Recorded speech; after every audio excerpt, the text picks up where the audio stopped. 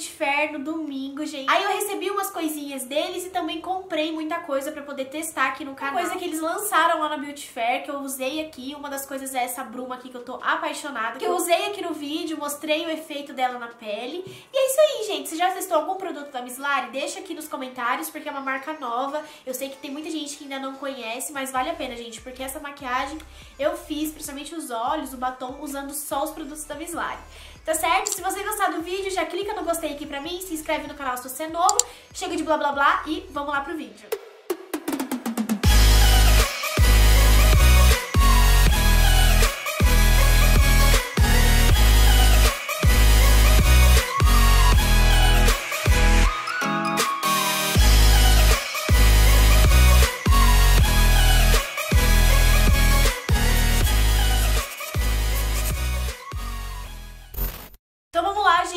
Aqui com a minha pele pronta e o primeiro produto da Mislari que eu vou testar é a Bruma Fixadora. A que eu tenho é a Bruma Fixadora Glow, então ela tem uns brilhinhos, mas eles também lançaram uma bruma que não tem brilho, pra quem não gosta daquele brilhinho na pele. Eu vou mostrar bem de perto pra vocês verem, gente, como que é a coisa mais linda. Olha, gente, que coisa mais linda e ela tem uns brilhinhos, então pra você poder ter o brilhinho na pele, você tem que sacudir assim que aí mistura o brilho com o produto e fica muito lindo. Eu indico aplicar esse tipo de produto, gente, antes de fazer os olhos, porque como ele tem brilhinho, pode ser que às vezes você faça um olho opaco e aí pegue brilho no olho. Então eu vou aplicar antes de fazer os olhos. E eu já testei ela e realmente, gente, ela deixa um brilhinho muito lindo na pele.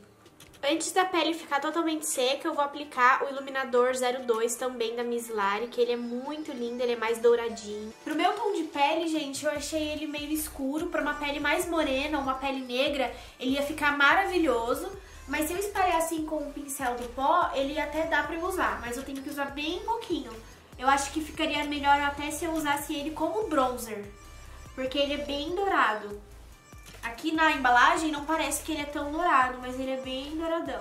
Eu vou chegar bem perto pra vocês conseguirem ver e abaixar bem a luz, o brilho que dá na pele. Ó, gente, tá vendo aqui na testa que ficam uns brilhinhos? Esse é o efeito da bruma na pele, ó. O bom desse produto é porque você pode espalhar, depois o brilho ele seca e aí você pode tirar o excesso. Se você achou que ficou muito brilhinho na pele, é só você tirar assim o excesso com o pincel que ele sai. Eu amei esse produto, com certeza vou usar demais porque ele é muito, muito bom, gente. Aqui tá falando que ele fixa, ilumina e finaliza a maquiagem e sempre tem que lembrar de agitar antes de usar pro brilho vir aqui pra cima, né, gente? Então super indico aí, é muito baratinho, gente. Eu amei conhecer os produtos da Miss Lara, então, nossa, adorei essa bruma aqui, com certeza vou usar antes de fazer os olhos pra deixar a pele assim bem glow. Agora eu vou pro quinteto de sombras, gente, que eu acho que é um lançamento também. Vocês não têm noção da pigmentação disso daqui. Eu vou mostrar mais perto. Olha esses tons de sombra, gente. Olha que coisa mais maravilhosa. Olha esse vermelho. Olha isso, gente. Que coisa mais linda. Olha isso, eu só peguei um pouquinho e olha como é pigmentado. E eu vou começar com esse tom aqui que é mais rosinha. Ai, gente, olha que lindo. Ai, gente, só uma pausa. Vem aqui com uma sombra clarinha que dá pra usar até como iluminador e ela tem uns glitterzinhos que são a coisa mais linda. Meu Deus, eu vou mostrar mais perto pra vocês depois. Vem com brilho, sabe? Vem com glitter. E dá pra usar até como iluminador pra pele clarinha. Amei. Até agora eu tô achando que esfuma muito fácil. E é super pigmentada, super mesmo. É demais, gente. Estão... Olha isso. Vocês estão conseguindo ver? Olha isso, gente. Essa paleta aqui eu acho que eu paguei 10 reais. Tipo, é muito baratinha. E é muito boa. Vocês já testaram alguma coisa da Miss Lari? Deixa aqui nos comentários pra poder saber, porque eu tô chocada. Eu tô assim, chocada com a qualidade disso daqui. Vou pegar um pincel limpo aqui só pra dar acabamento e esfumar bem aqui. Eu vou pegar a sombrinha clara e vou iluminar aqui embaixo da minha sobrancelha.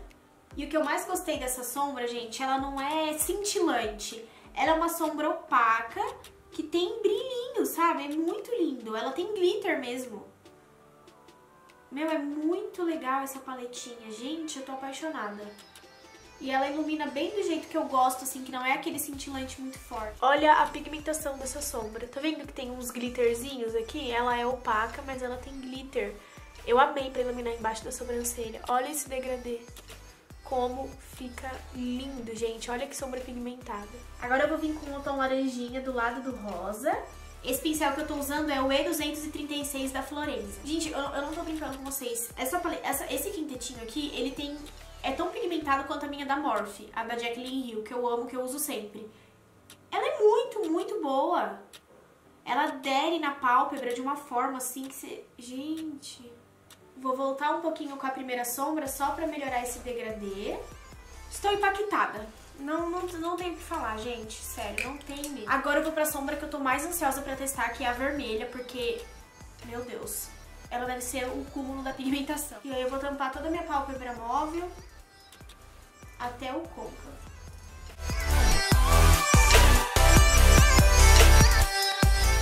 Gente, olha isso daqui. Olha a pigmentação dessa sombra vermelha. Meu Deus do céu. Isso aqui, ó, você pode comprar e fazer estoque, porque eu não tenho mais o que falar. não tenho, gente, não tenho. Agora eu vou testar essa sombra líquida deles aqui. Essa cor que eu tenho aqui é a cor 3. Ela é uma sombra líquida bem brilhante, vou mostrar de perto pra vocês. Olha, gente, a embalagem dela é assim. Ela vem com esse aplicador. E olha como ela é linda, linda demais, gente. Eu deixaria esse olho assim tranquilamente, porque tá a coisa mais linda, mas eu vou testar essa sombra é, líquida pra gente ver todos os produtos, né? Mas, gente, olha isso daqui. É difícil a gente ver sombra assim, vermelha, pigmentada desse jeito, ainda mais nacional. Meu Deus do céu. Tô apaixonada.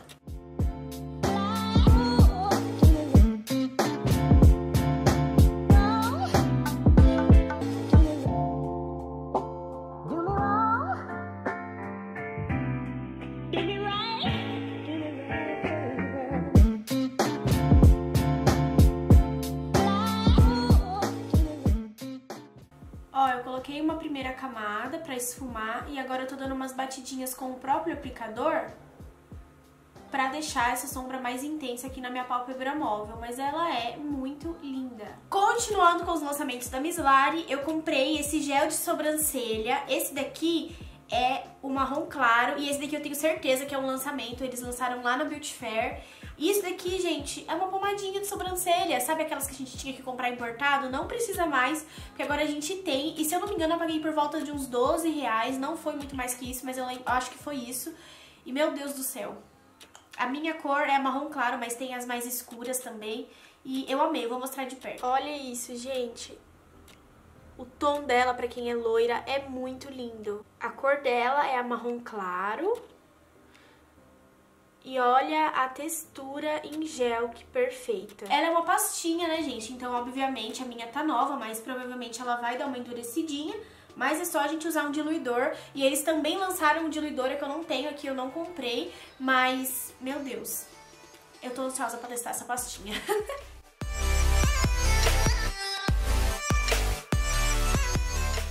preciso dizer que ela rende muito. Eu peguei muito pouquinho e olha a minha sobrancelha. Ela tem uma cor muito boa, ela não é uma cor muito clara, mas também não é uma cor muito escura. E eu amei, gente. Meu Deus do céu. Hoje eu... Acho que é o primeiro vídeo do meu canal que eu amo tudo, porque... Não tem o que falar. Miss Lari, está de parabéns, gente. Tá? Olha o tanto que eu usei, é bem pouquinho. E ela rende muito mesmo. Só uma encostadinha com um pincel já dá pra você fazer quase a sobrancelha toda. Cílio postiço colado, esse que eu tô usando é o da Miss Friend. Hoje eu tenho a numeração dos cílios, gente, eu comprei lá na Beauty Fair também. Esse daqui é o 3D19 de Mink deles e eu paguei 16 reais, então tá valendo super a pena esses cílios da Miss Friend, são maravilhosos. Na parte de baixo eu vou usar a mesma paletinha da Miss Lari, vou vir com a sombra vermelha. Agora eu vou usar esse tom de marrom aqui, bem escuro, bem frio, pra poder colocar bem rente a raiz dos cílios. Ele não é um marrom tão frio não, gente, ele é um marrom mais quente, assim, aqui parece um pouco frio, mas no olho eu achei ele lindo, lindo, lindo, ficou lindo o degradê com esse tom de, de marrom. E aí eu vou vir com a sombra laranja na bordinha desse vermelho. Pra finalizar o degradê. Olha isso, gente. Olha como o sombra laranja mudou tudo. Eu recebi esse batom e esse daqui eu comprei. Os dois são da Miss Lari. Esse daqui ele é mais vinho e esse daqui ele é mais nude. Olha, gente, que tons mais lindos esses dois. Esse daqui mais vinho, ele é a cor 6. E esse daqui mais nude é o número 10. Eu não sei qual que eu escolho, mas eu acho que eu vou ficar, tô meio pro nude. Já que a maquiagem tá quase nada, bem simples, né, eu vou usar o 6, porque eu tô apaixonada, gente, nesse daqui é um tom de vinho bem bonito. E eu tô gostando, assim, de usar maquiagem em tons mais vermelhos, então acho que vai ficar bem legal. resultado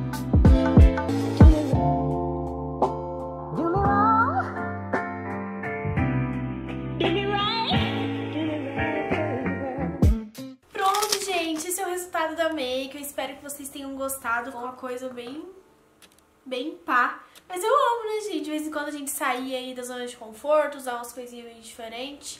Eu achei o batom bom, só que pro meu gosto pessoal eu achei ele muito seco.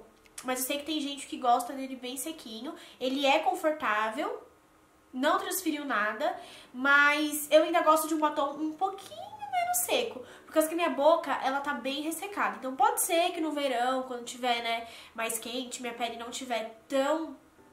Minha boca não tiver tão ressecada, eu até goste dele bem seco. Mas assim, quem gosta de batom bem seco, pode comprar, porque vocês não vão se arrepender, porque ele é bem sequinho mesmo. Só que pro meu gosto, como eu disse, eu acho que seria perfeito se ele não fosse tão seco. Mas eu vou usar tranquilamente, às vezes posso até passar o hidratante por baixo, porque eu não hidratei também, pode ser isso, né? Mas ele é um batom bem sequinho.